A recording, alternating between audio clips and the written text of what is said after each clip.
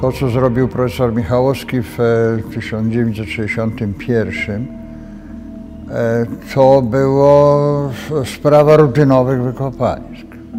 No, powiedzmy, że on się nie spodziewał znaleźć katedry z malowidłami naturalnymi.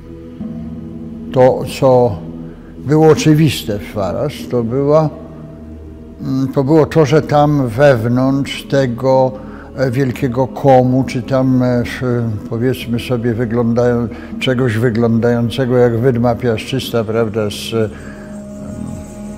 twierdzą, resztkami twierdzy późno średniowiecznej, praktycznie na szczycie, to było wiadomo, że tam coś w środku jest. To znaczy, tam jest jakiś duży budynek i to Michałowski wiedział naturalnie. Natomiast myślał, że jest to raczej świątynia Totmesa III, ponieważ bloki tego faraona mm, były znajdowane w pobliżu.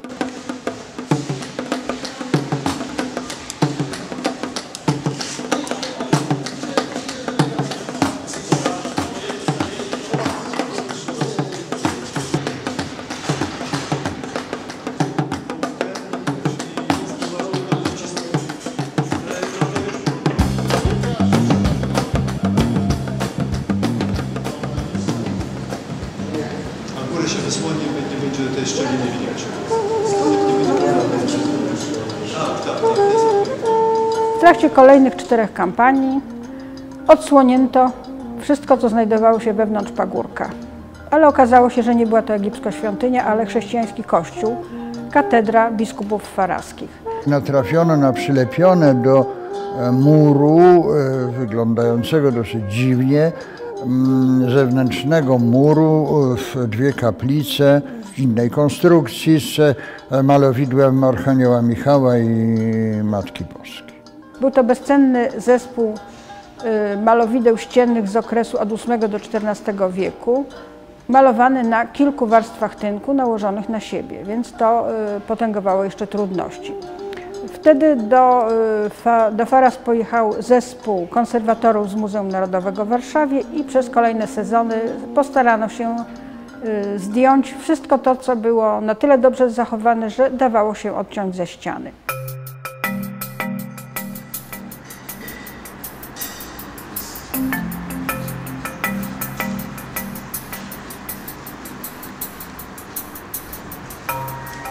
Na tym etapie prac mamy bardzo już ułatwione zadanie, ponieważ najcięższą pracę wykonali nasi koledzy w latach 60., kiedy malowidła były zabezpieczane i zdejmowane ze ścian e, katedry.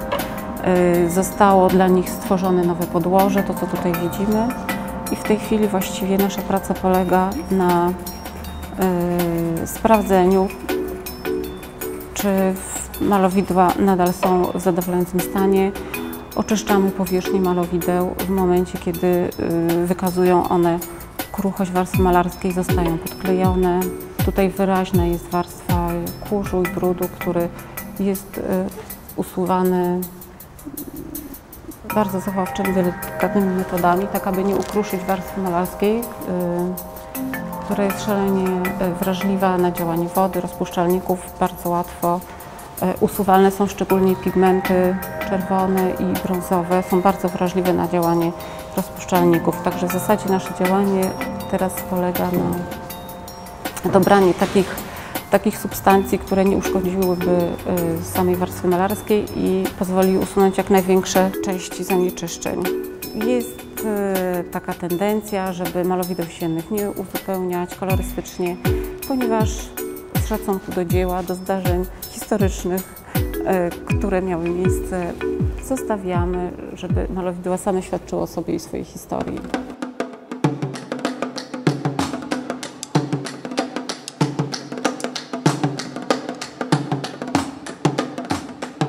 Ten moment, który się pamięta, który ja widziałem i który przeżyłem jeszcze jako młody człowiek, który po raz pierwszy był na wykopaliskach, od razu na takich. To było wtedy, kiedy w drugiej kampanii, e, po rozebraniu górnej części ruin twierdzy, sięgnęliśmy, że tak powiem, właściwego wnętrza katedry.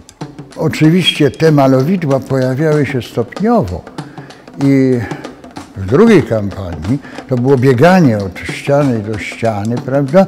I, i, i że tak powiem, odgrzebywanie e, z wierzchu kawałka malowidła, które się tam gdzieś ciągnęło, prawda? Oczywiście jego nie można było zobaczyć.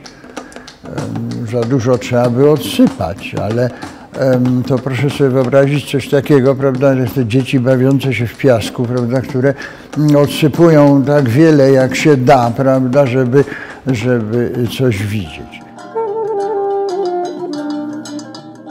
Sama operacja zdjęcia malowideł była e, przedsięwzięciem bardzo skomplikowanym, było mało czasu, był klimat, który nie służył intensywnej pracy. To też był olbrzymi wysiłek i część ostatniej kampanii, właściwie dwa miesiące ostatnie e, kampanii były właściwie z wykluczeniem wszelkich prac archeologicznych, a skoncentrowaniem się wyłącznie na robieniu skrzyni, prawda, pakowaniu, zdejmowaniu jeszcze tego, co, co zostało na ścianach mm, i, i, i, i, transporcie.